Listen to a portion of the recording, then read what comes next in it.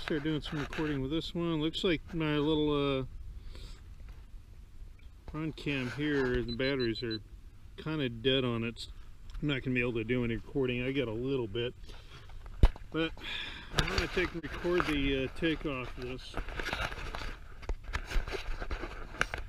I do have uh, pretty much everything all set up. I've got the uh, Z3 set up with the launch dolly. Got that going, so as soon as it lifts off, it should be able to just pluck right out of the bottom like it's supposed to. Hopefully. There's plenty of juice and everything else to kind of get this thing going, but I wanted to go ahead and give it a first official test of uh, flying off the launch dolly today. So as you can see how the Z3 is set up, I don't need any launch pegs put on the bottom. I just put little notches there and it should be able to at least kind of keep it from moving around. It seems like it ran the ran the taxi test just fine. I was able to circle around without a problem. Got my navigation lights right there. Everything seems to be working just fine on it. I just need to make sure it's going to be able to take off. And the way things are going, looks like I've got the wind coming from my back now. So, looks like it's kind of shifting around a bit. If it hits anything, I'm really in trouble.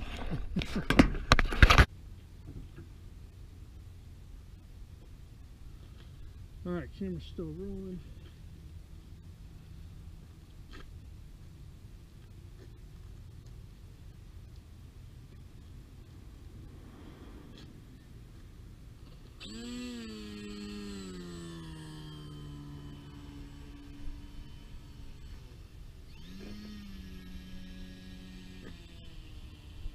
Alright, I'm going to kind of just pretend that I'm actually in the cockpit here.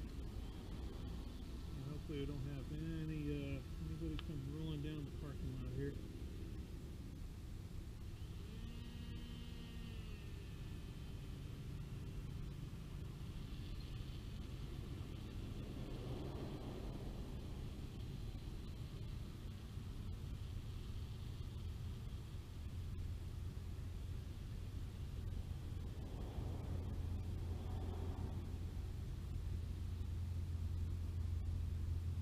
Get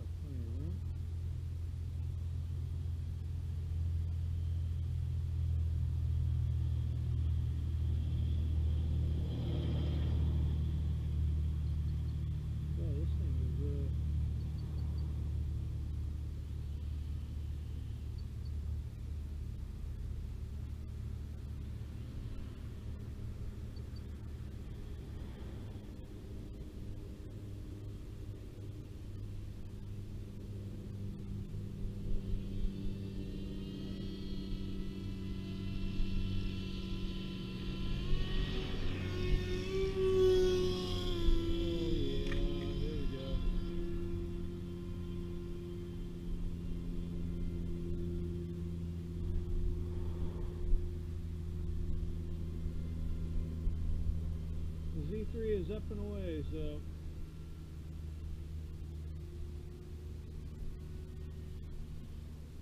Alright, I just had to go and test to make sure at least the landing gear was going to work. Launch dolly.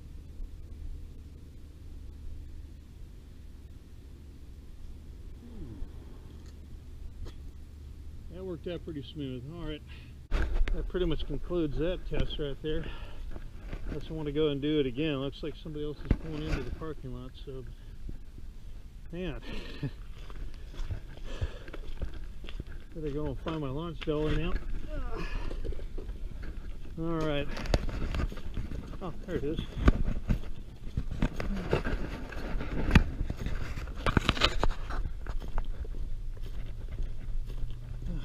Not bad. This is really proving its worth. So if anybody really wants a copy of the design, they're more than welcome to. But so far, good wide stance landing gear works a lot better than the other one. Wheels are a lot more solid. Fairly, uh, fairly resilient on the ground. allows me to at least do some uh, trim adjustments with the rudder. Just make sure everything's working good.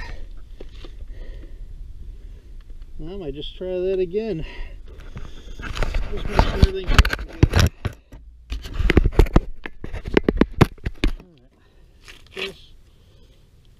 Plug this back in.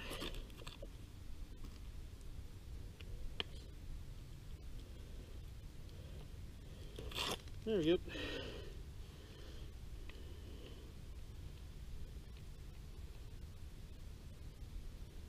Oh, I see. So this thing is actually starting to uh, loosen up a little bit. I can torque that down.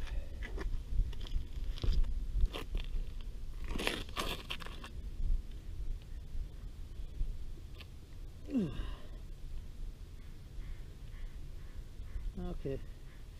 Feels like the detent's kind of wearing out. Get a regular flathead for it.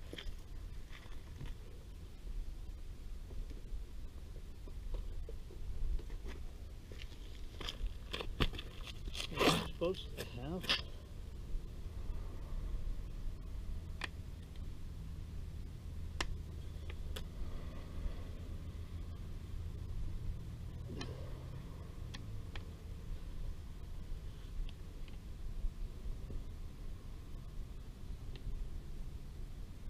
I think just want to tighten down. It's only good for just the flight.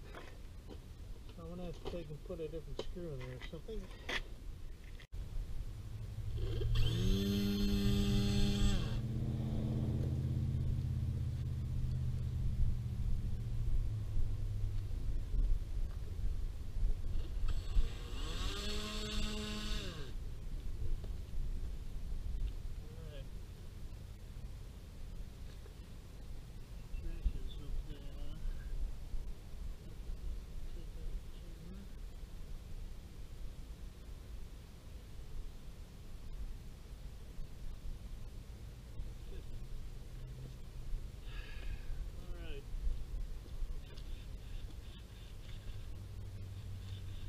Hey, to check the surfaces before I took off from the first one.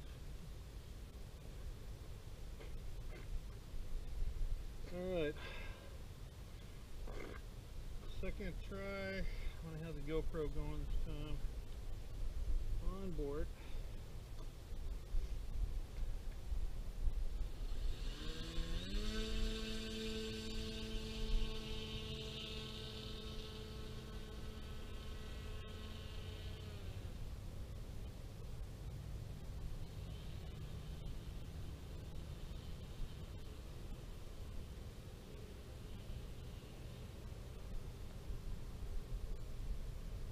I did last time.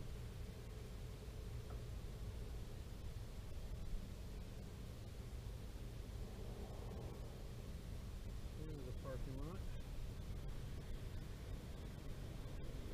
Alright. And I got somebody.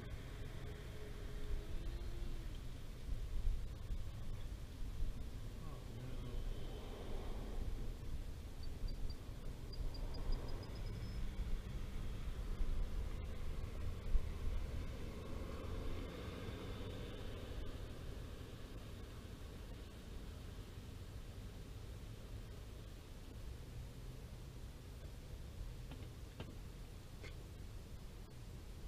That's one thing I gotta watch out for.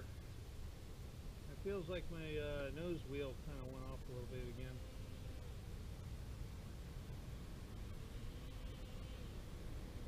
Oh, man. that's-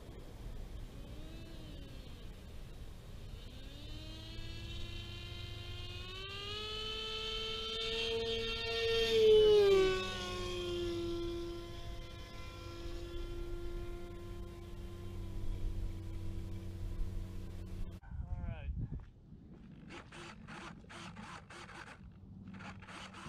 Hey, check the surface before I took off the first one.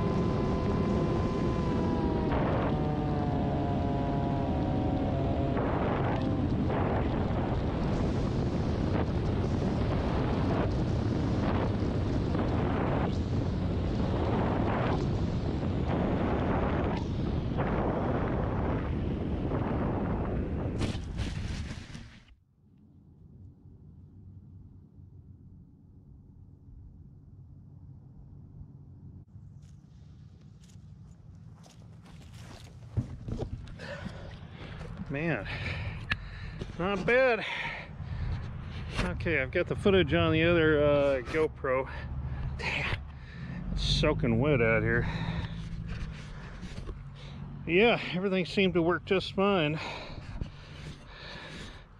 If I can get the camera cleaned off. There we go. So now I've got the footage with the with the Hero 7. Yeah, this thing uh as long as I can go ahead and nail down the, the landing gear to make sure it's not going to move anywhere. And uh, it should be just fine for taking off with the trailer. So, but yeah, so far, two good successful launches with it. I think we're definitely good. All right. All right, that's pretty much it.